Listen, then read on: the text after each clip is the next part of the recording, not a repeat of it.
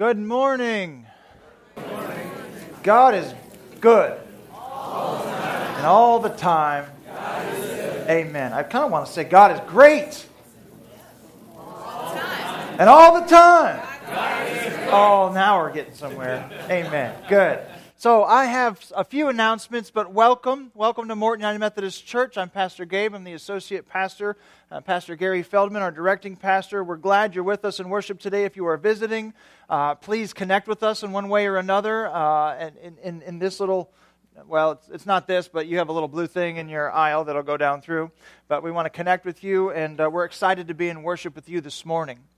We have some great things happening at our church today. The corn boil. Is this our, is our first annual corn boil? John, come on up. He's going to share a little bit about our corn boil, but it is a potluck. Bring a dish. I think you show up about four. We'll eat about five, and I'll let him tell you a little bit more. Good morning. God has been truly good to us, and there are 5,000 ears of corn sitting out in our parking lot. So, so hopefully there'll be only a half a dozen left by the time you guys are done buying. So, actually, we just ask for donations like every year. Uh, there's a bucket out there, there's sacks what we're doing, we're raising money like we do each year for the school kids in Liberia. It doesn't take a lot of U.S. dollars to send a kid for an entire school year to a Christian school, but we're trying to send a lot of kids. So the goal is to, oh, and you should see how our youth has helped us this year. Is that the time lapse? Yep. That's not time lapse. We just really worked fast. it was amazing. The kids were awesome. 5,000 years, 50 minutes, 20 kids people are really stepping up. So please, uh, if you want to get a bunch of dozens to put up, then don't feel like you got to give a lot of money. Just whatever Lord uh, said wants to send you to do. So we appreciate it. I think Eric's going to mention about the corn boil. He will uh, in a minute. Come on up, Eric. But uh, I'm, I'm sandwiching all these announcements together. There is something very special happening at Zion Oaks Tabernacle in East Peoria Tuesday and Wednesday evening. It's the 166th revival. Amy? It happens all week. Happens all week. Starting tonight. Okay. Very Okay, so starting tonight at 7 p.m., revival at the Zion Oaks Tabernacle in East Peoria. Reverend Danny Mata will be there, and Reverend Gary, Gary, not Danny, thank you. I got Danny on the brain. I'm meeting with him tomorrow. Gary Mata will be there speaking as the evangelist, and the other pastor, help me out, please. Joel Catlin will be there. He's the pastor of Zion. Yes, the play is Tuesday and Wednesday night. Act 1 Tuesday, Act 2 on Wednesday, 7 p.m. You'll want to be there. It's really special. Uh, you're invited to come to that. And in the midst of that, we also have a basement sale, and Eric will tell us a little bit more about that as well going on. There, there we go. Just so you know, there is um, uh, there's probably going to be a corn boil no matter what today. So if it's raining at four o'clock, we're going to figure something out. So you can still come with your dishes. Uh, the other thing is we have a lot of donations. It is probably twice the amount that I have ever seen since I've been here. So thank you for the donations. Uh, the other part of the help that we do need, um, especially today, anytime between noon and hopefully only 10 p.m. Uh, who knows though? Uh, we'll be organizing. So if you even have an hour, couple hours, any time that you have to put stuff where it goes and sift through this big mess that we have right now, that would be a big help. The other help that we could use if you have a pickup truck or any kind of large transport vehicle and you are available at all um, wednesday about 12.30 1 o'clock um, Mission Mart is not going to send a truck this year. Apparently, they only come for furniture now. So we don't have a lot of furniture, and what we do have will probably sell. So uh, all the extra stuff that we'll have at the end of the sale, we don't have a big truck coming to gather it, so we need help. Uh, if you have a truck and you can come and lend that so we can load up your truck and you take to Mission Mart, that would be a big help. So please uh, keep us in mind and tonight and tomorrow and Tuesday and Wednesday. If you can help, let me know, and we will figure out a way for you to add to the cause. Thank you. Thank you, Eric. So there's a lot of activities happening at the church. It's kind of the back to school almost starting. Uh, we have a back to school blessing next Sunday during all three services for administrators, for staff, for teachers, for students. So please, if you are one of them, come. If you have friends who aren't connected to a church, a great time to invite them to come and we can recognize them and ask God to bless them as they begin their school year. So, again, today, the corn boil, bring a dish to pass. We'll have games, family fun, and maybe we'll get some work done on the basement sale and uh, help Eric and the youth group out as they're raising money for that as well. Would you join me in worship as we stand and sing, Holy, Holy, Holy? And let's turn our hearts and minds to God this morning.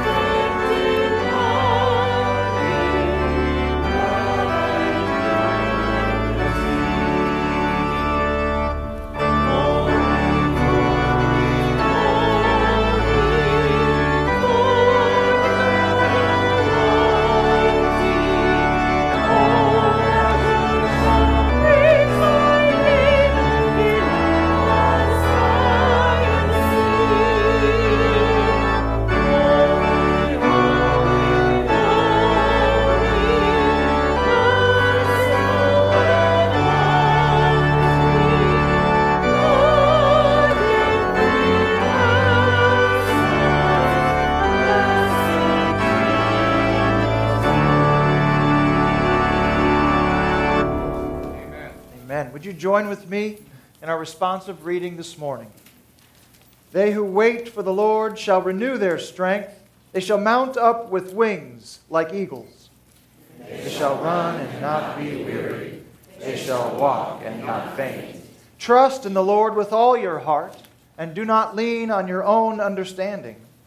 In all your ways acknowledge him, and he will make straight your paths. And while staying with them, he ordered them not to depart from Jerusalem, but to wait for the promise of the Father, which he said, You heard from me, where John baptized with water, but you will be baptized with the Holy Spirit not many days from now. Amen. Let's share the peace of Christ with one another this morning.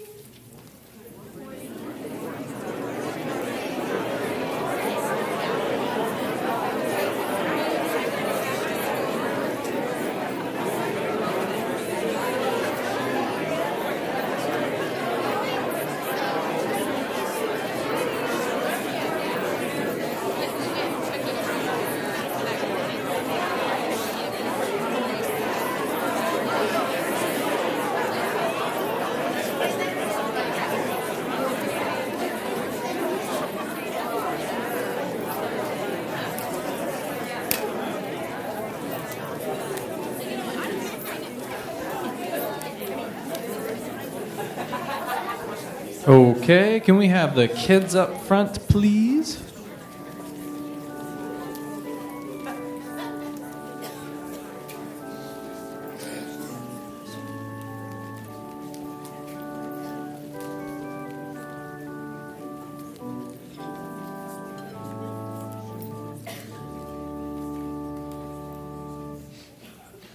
Okay, thanks. This is great. Last service we had zero kids. So I had to bribe some junior high kids to come up. bribe them with smiles, like I didn't actually give them anything. Um, okay, who can tell me what a verb is? Yes. An action. An action, he said. Um, yes, an action, typically. It's something you do. But who can think of what a passive verb might be as opposed to an active verb? So, an active verb, active, active, active, but then a passive verb. What might be a passive verb? What about sitting? You think sitting? Does, does you feel like you're doing anything when you're sitting? No, just you're, you're yeah, you're just sitting there. But can it, who here feels like they have pretty good control over their body? They understand their muscles and stuff. Okay.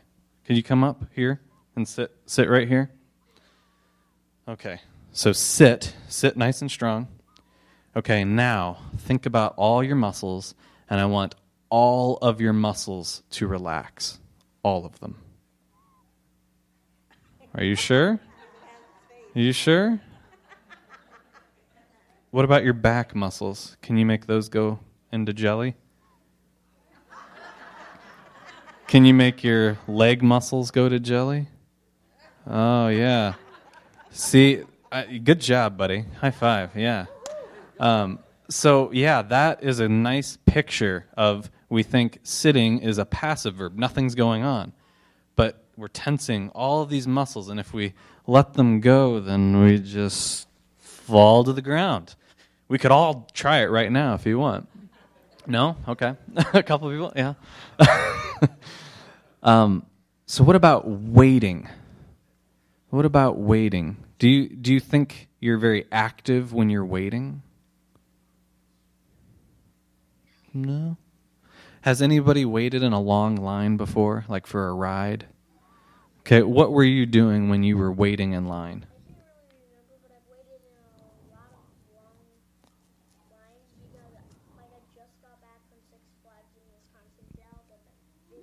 Yeah, those are long lines in Six Flags and, and Wisconsin Dells.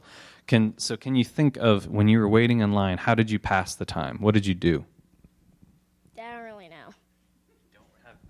Okay. what about you? Do you remember what you did when you were waiting in line?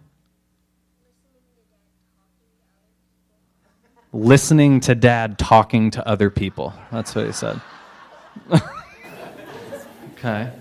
I remember when my wife and I, this we were younger and we were just dating. We were just boyfriend and girlfriend. And we went to Six Flags together and we were waiting in one of those hour and a half lines for a really cool roller coaster. And when we were waiting, we played we came up with three secret handshakes. We played like 150 games of rock paper scissors. I was a little bit better than her. And then we played that that game where you put your hands underneath the other person's hands and you try to smack their hands before they can take take them away. She was way better than me at that, and we played like 150 games of that. So in that time, we actually we fell more in love waiting in line in Six Flags because we realized that even when it's really boring and there's nothing going on, we really like being around each other and we make each other laugh and we just like each other's company, even when there's nothing going on. So we were like, yeah, uh, this is going to go somewhere. This is great. That wasn't torture. All that to say that even when we're waiting, we're still doing something. And not only are we doing something, but stuff is going on that we have nothing to do with. The ride operator, if we're waiting at Six Flags, he's I don't know what this is. Maybe cranks or something to start the ride. Uh, but he's doing something. Other people are doing something. Stuff is going on so we can get to the goal, right? Have any of you ever felt like you've waited on God? Maybe. You've asked God for something and you just had to wait for it because it didn't happen immediately. Yeah. There's a lot of waiting on God that happens in our lives. And as you get older, you'll experience it more and more and more. And we feel like nothing's going on. We feel like it's just passive. It's just boring, bleh. Time goes by and nothing happens. But that's not true. God's doing something in us. He might make our trust stronger. He might make our faith stronger. He might make us more patient.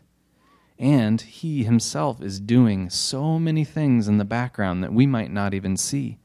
Maybe to prepare us, maybe to prepare the world around us so that we're ready when the big thing comes. But waiting is not passive. There's a lot going on when we wait for the Lord. And that's something hard to remember, but it's something we can remember, right? Does that make sense? Does that make sense? Kind of. Okay. That's good. Good enough. All right. Would you pray along with me? Dear God, thank you for chances to grow, including when we're waiting. Please, God, give us the strength to trust you when we wait. Help us to grow when we wait. We thank you that you hear our prayers. In Jesus' name, amen.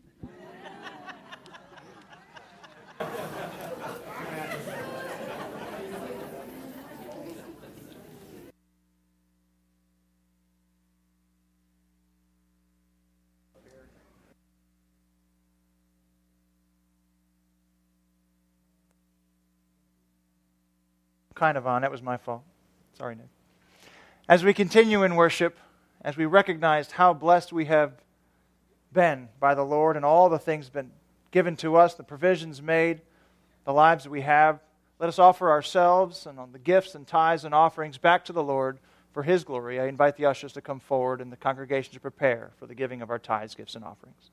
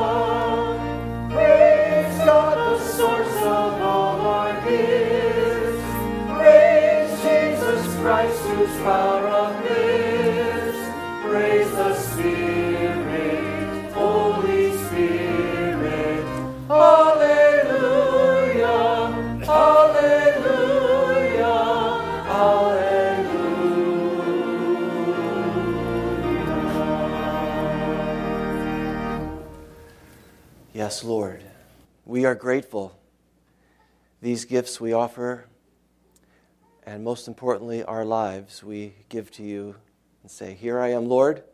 Use me for your service and glory. In the name of Jesus, amen. God bless you. You may be seated.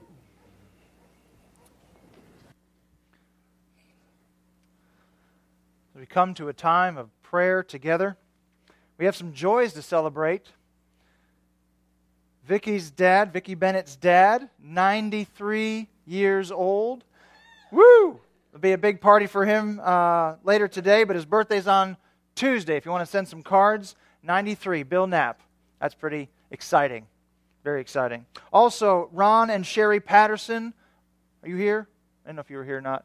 50 years of marriage. Woo! Thank you. Thank you for showing us how it's done. The young ones, like uh, myself and Eric and others, we need to learn how to get to 50 and beyond. That's good. Very good. Uh, we also have uh, a special uh, presentation of the Lord's Prayer that I want to alert you to now. We won't be saying it together, but we will be seeing it and hearing it in a very special way. Uh, thank you, Amy Smith and Nora Bishop, for uh, presenting the Lord's Prayer for us today later on things that we can keep in mind, also joys but concerns. Uh, many people have been in and out of the hospital, but the key word is out, and they are back at home in the residence. So Cliff Lowry is home. Uh, Ray Schmidt is home recovering from back surgery. Uh, Dorothy Funk uh, is also home. And um, yesterday there was a wedding between Adam and Madison, and now Kumpf. And so we are excited for them and want to pray a blessing upon them as well. Uh, Pastor Gary's uh, officiated that and enjoyed uh, the family uh, time immensely. So uh, Adam and Madison, they're just starting year one, uh, and with many years to go. and there are many things in our hearts and minds, of course, that we are thankful for and want to bring to the Lord in prayer and petitions to be made for our friends and family, for those we don't know, Uh, for the work of the kingdom to be done uh, through us and throughout the world. So let's turn to the Lord in prayer this morning together.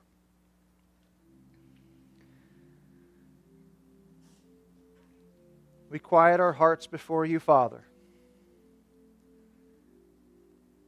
We come to you knowing of your love through Jesus Christ, through the presence of your Holy Spirit given to us as a gift. We come on this special day to worship you God, to be a part of the body together, to sing praise, to hear your word, to be encouraged in our faith and to encourage someone else, to grow our families in the community of fellowship. We know that you are here. We have gathered in your name. And so we lift up our praise to you, recognizing you as supreme, as God, as the author of everything recognizing that, too, we have been made in your image to be a reflection of you on this earth. Come, Holy Spirit, and fill our hearts and fill our minds and renew us this day as we continue to try to be the faithful disciples that you have called us to be. Help us to live into our mission to make disciples and to transform the world by your love and in your love through forgiveness and grace and mercy. Lord, we lift up names to you earlier that, that have been through surgeries and that have been cared for intensely in the hospitals, and we pray for recovery and healing of body, mind, and soul. We thank you for the facilities that we have available to us. Lord, we pray a blessing on our doctors and nurses and and service personnel that help us to manage our bodies.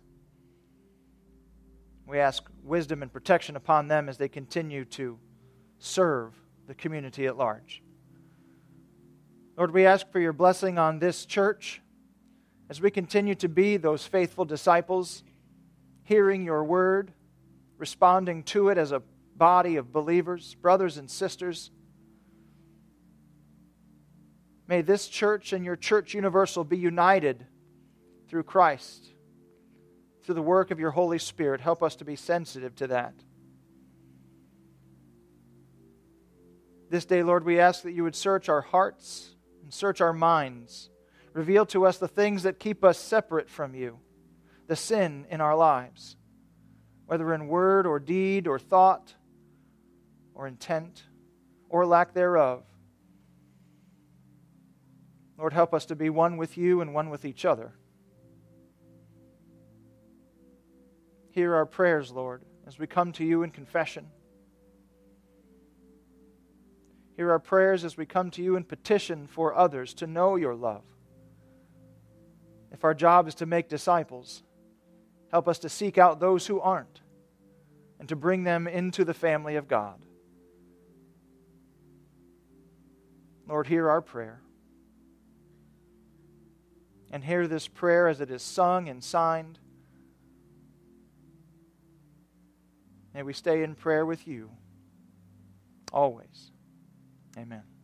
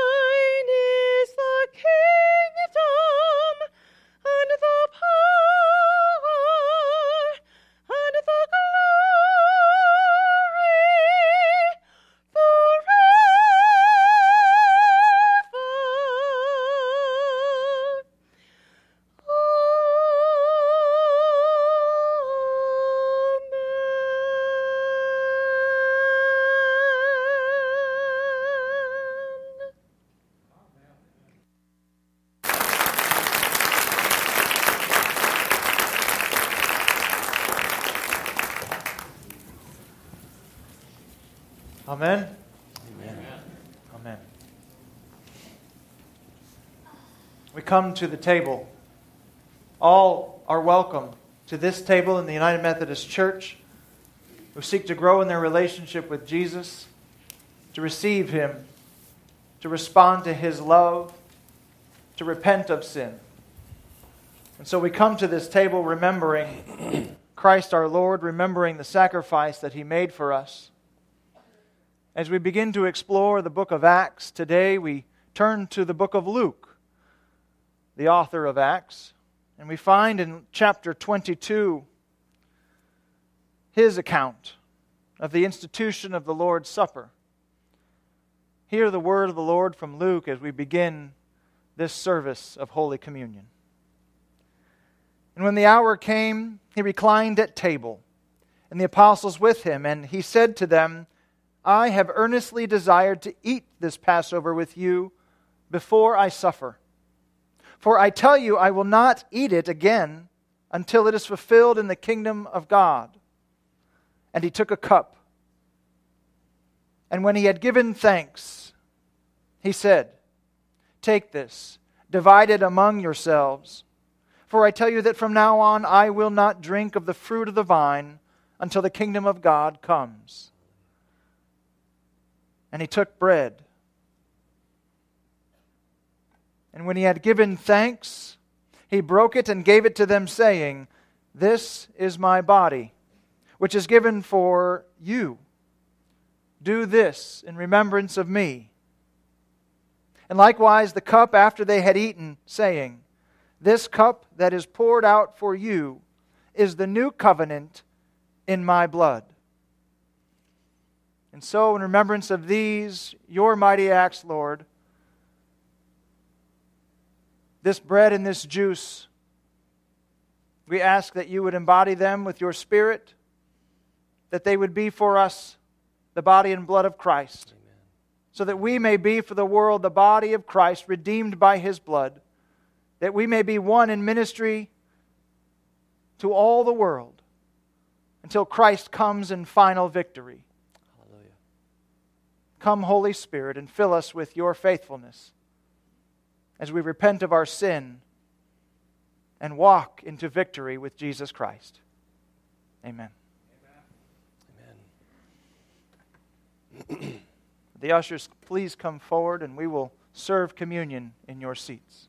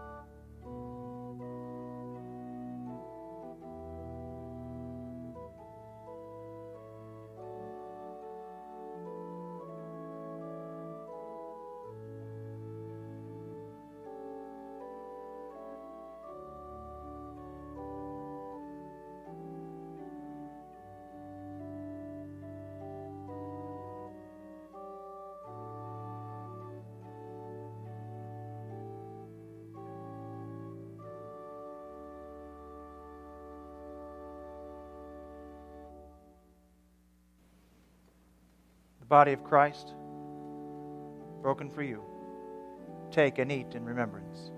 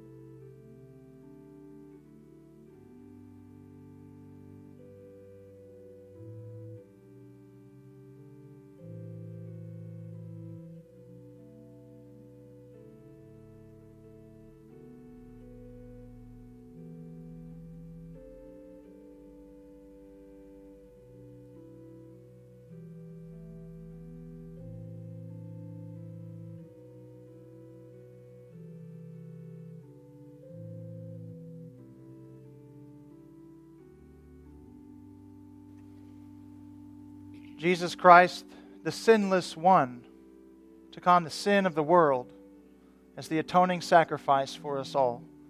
Take and drink and remember God's love.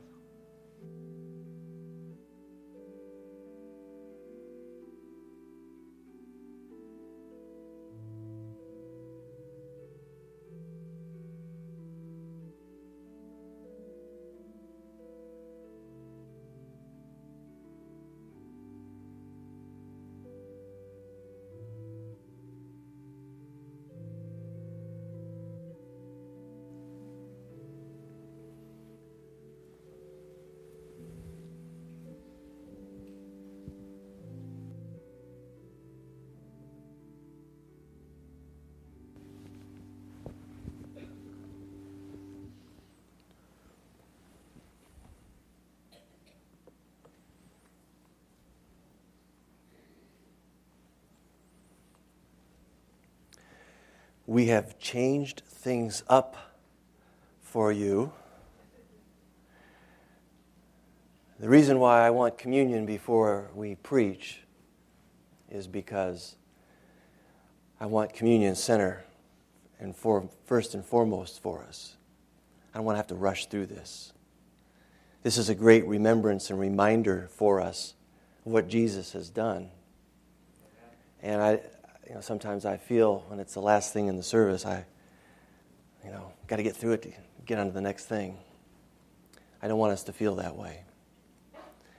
Communion is, is holy communion. So we need to take the time to uh, remember and get refocused on the wonderful host Jesus is for us. For he is the bread and juice becoming the body and blood for us. So, I want to read from Philippians, excuse me, Acts. We're in Acts now. I love Philippians. It's hard to get out of that book. Flip, uh, Acts chapter 1. Now, this is the second part of Luke's writing. He wrote a gospel, and then he wrote a history. The gospel we call the Gospel of Luke, the history we call the Acts, the actions of the apostles. And he says, he says, in the first book, O Theophilus, I have dealt with all that Jesus began to do and to teach. To do is his works, to teach are his words, the words and works of Jesus. And apparently, he has been compiling this for a person by the name of Theophilus. This, this is my take on his name. His name literally means lover of God. Theos, Philos, God, love, lover of God is his, is his name. I think this was a name a, that was given him, a nickname. Because of what happened in his life, in his relationship with God. People saw in his life his love and adoration for God. So they started calling him Theophilus, the God lover. So this book is written, in a sense, to us who are God lovers, aren't we not? We should be lovers of God. People should see that in our life and say, wow, what is it about, what about him that, that is about God? So all of us are Theophiluses, lovers of God. He says, um, until the day when he was taken up, Jesus was taken up, he ascended, and that's what this chapter leads to. After he had given commands through the Holy Spirit to the apostles whom he had chosen, he presented himself alive to them after his suffering for many, by many proofs. Jesus is a historical person. There's evidence of him for 40 days, of people who he interacted with. This is documented, and so don't buy the lie Jesus is some figment of our imagination or he wasn't real or whatever people will try to say. Uh, he presented himself alive to them, appearing to them for 40 days, speaking about the kingdom of God. Then uh, uh, Luke says, and while staying with them, he ordered them not to depart the city of Jerusalem, but to wait for the promise of the Father, which he said, You heard from me, for John baptized with water, but you will be baptized with the Holy Spirit not many days from now. At the end of this text, verse 14, well, 12 says, They returned to Jerusalem from the Mount of Olives, where they were when this happened, when Jesus ascended into heaven. And verse 14, all these with one accord were devoted, and that's another important word, they devoted themselves to prayer together with the women, Mary, the mother of Jesus, and his brothers. Let's pray. Father, in these, these moments, we ask your Holy Spirit to help us understand your word and help us to uh, wait upon you with our lives. In the name of Jesus, amen. I don't know about you, but waiting is not something that comes easy for me. And I find myself getting frustrated at times with having to wait. Um, I, I, you know, Eric talked about those famous lines at Six Flags. You know, you, you wait an hour and a half to get on that ride, and it lasts how long? 70 seconds or something like that? Hour and a half wait for a 70 second ride. But it is so exhilarating. You get right back in line and you actually go to the next one and wait an hour there. So we, uh, but waiting is part of life, isn't it? Whether we want to acknowledge it or not, it is part of our lives. Probably need to find a statistic that tells us how many waiting moments we actually have in a day. But they're there. They're there. I, uh, I, I, you know, I, I felt the timeliness of every worship service 8 9.30 10.45 and to try to get everything wrapped up in 60 minutes. And i had a really great first service because this clock was stuck at 8.39 we got it fixed. Darn it. So it says 1017 so I, i've got it right there.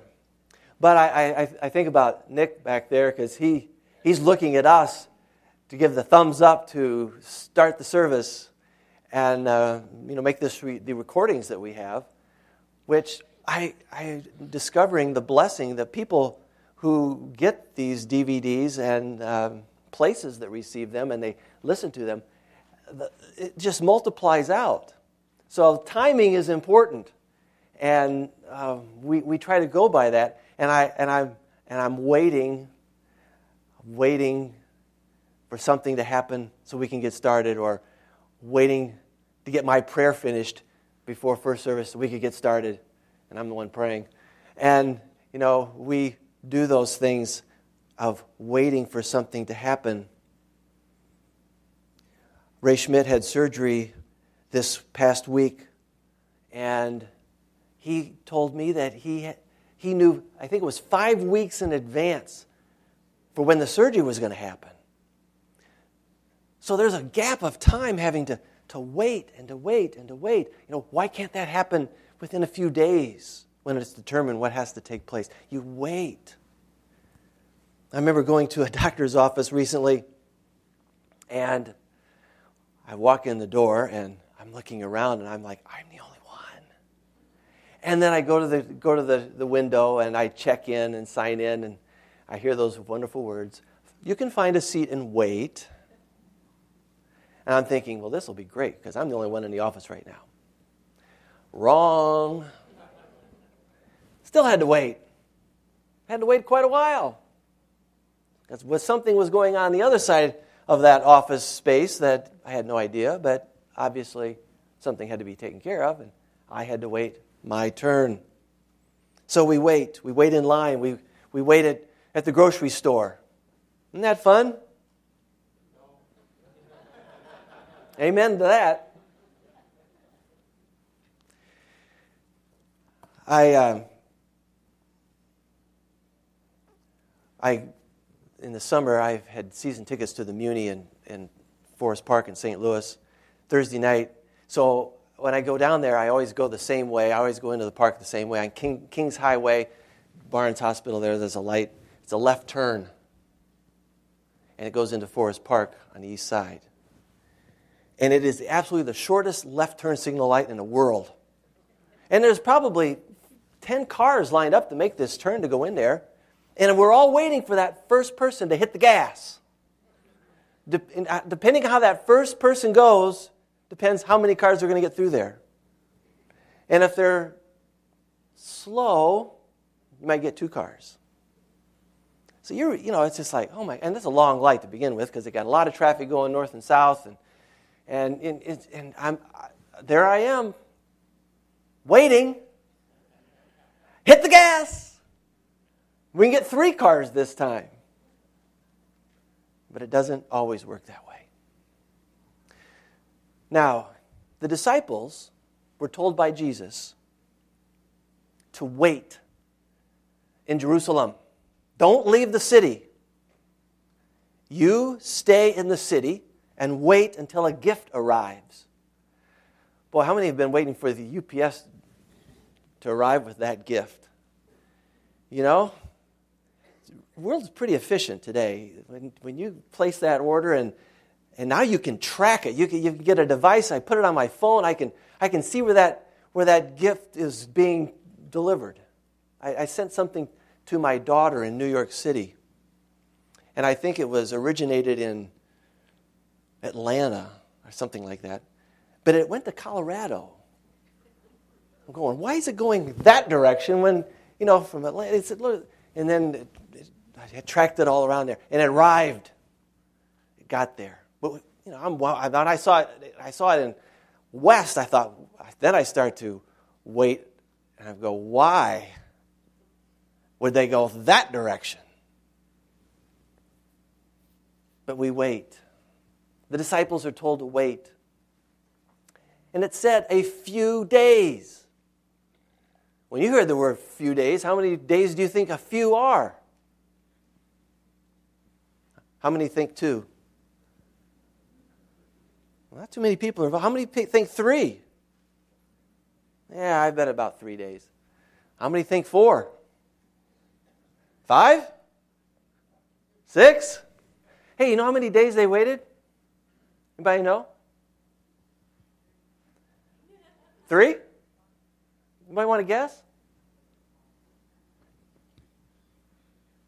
45 million? No, not quite. It's a good guess, though. 10 days. 10 days. Jesus ascended after 40 days. And then 50th day was Pentecost. 50 days. So there was a 10 day gap there. Now, they says they were in the, in, the, in the upper room, the disciples, and I don't know what they're, I, I know one thing they were doing, but as, as Passover approached, they had to begin pre- making preparations for that because this is one of their holy days, one of their three great feasts. They're making preparations for it. But when people are together and you're waiting, and you know this because if you've been in families, you kind of get on in each other's way, so to speak. I'll say it kindly like that. We get in each other's way. And we get a little frustrated. And we start thinking. Start thinking, I wish they'd be quiet. Talk too much. Wish they would just kind of take care of their clothing. It's kind of. You know, things go on, and we get consumed with all that stuff.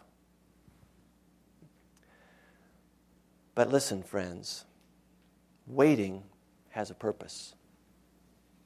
Jesus said a few days wait. Now, waiting on the Lord requires patient trust.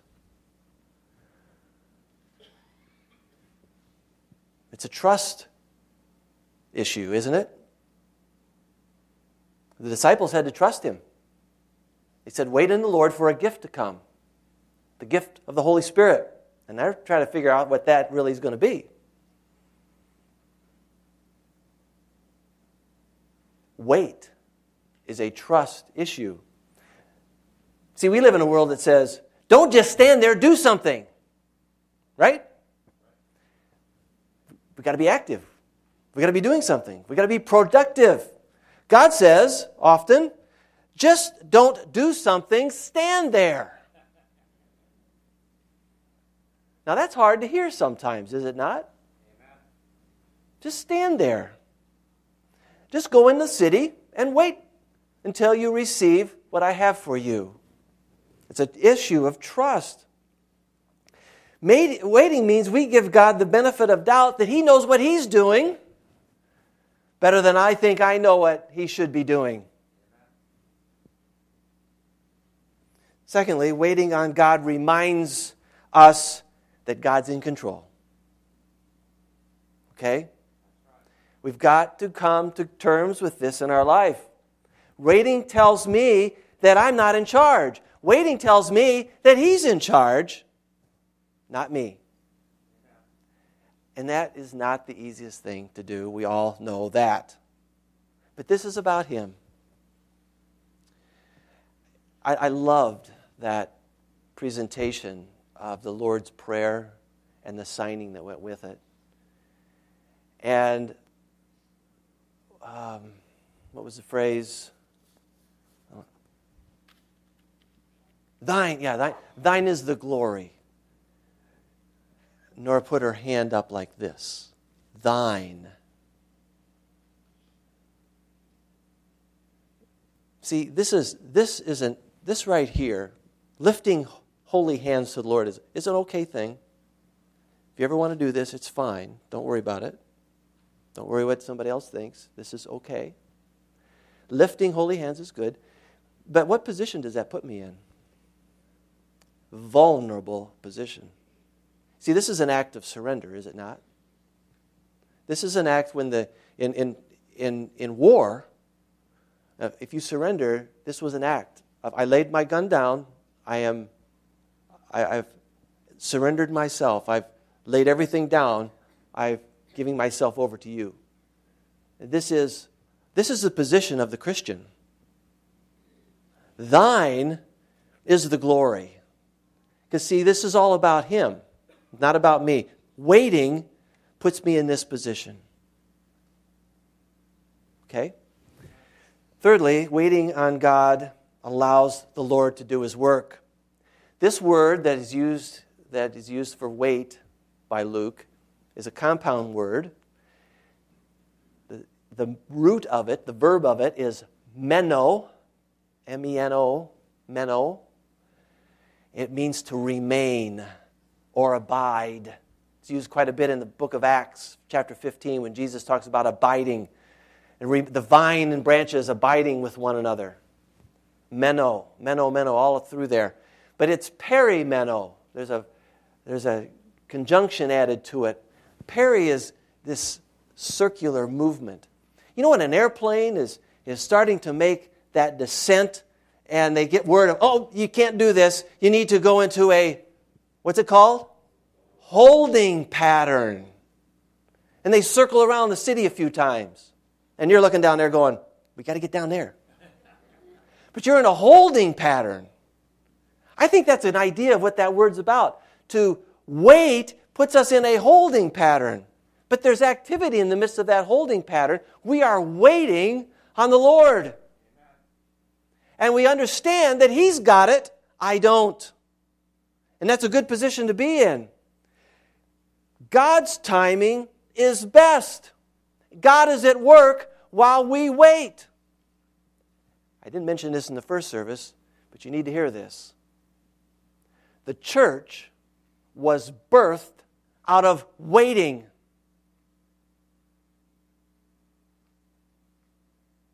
Now, there's another side of that that's more important. The church was birthed out of waiting prayer. Bible tells us that when we wait on the Lord, our strength is increased. Those that wait upon the Lord, their strength increases. They will mount up like wings of eagle- eagles. Isaiah. So, what did the disciples do? He said, Wait in the city. The Bible tells us they prayed. Can you imagine that? When I go to the Muny this time and I'm sitting in that line and waiting for that line to turn, I'm going to be praying instead of telling that guy ahead of me to go faster. And when I go wait in line at the grocery store, I'm going to start praying for the people around me more often than trying to think, why did I get in this line?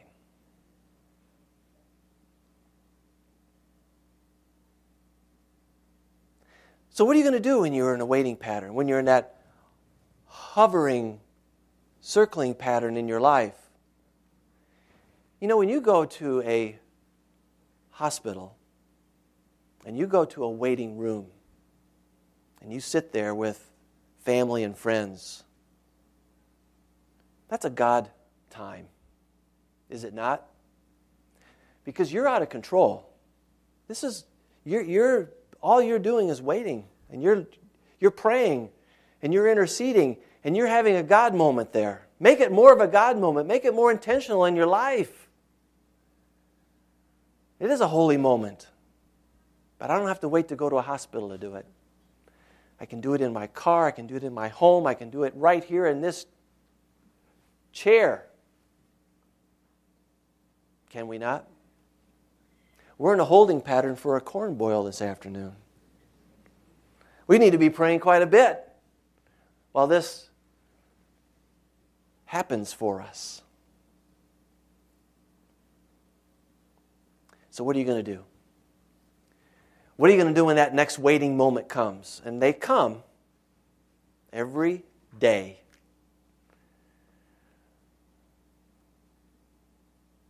You going to gripe? You Going to complain? You Going to say a few things that you will have to repent about later? Are you going to pray? Let's be people of prayer. I want this to be a praying church. And just, and I, I know it is already, but I want us to increase in our intent in prayer. I want us to, to build on that and, and to, uh, you know, God births great things through prayer. And waiting prayer birthed the church, of which we're part of. That's exciting. So, my challenge for me is to be part of that prayer pattern. How about you? Let's pray. Father, help us to be your people wherever we are, to uh, wait upon you. You've got it, you're in control, and we can trust you. Thank you for that. Amen. Let's uh, stand and sing our closing hymn, which is uh, Spirit of the Living God. It's a chorus. I want us to sing it two times. Make this your prayer.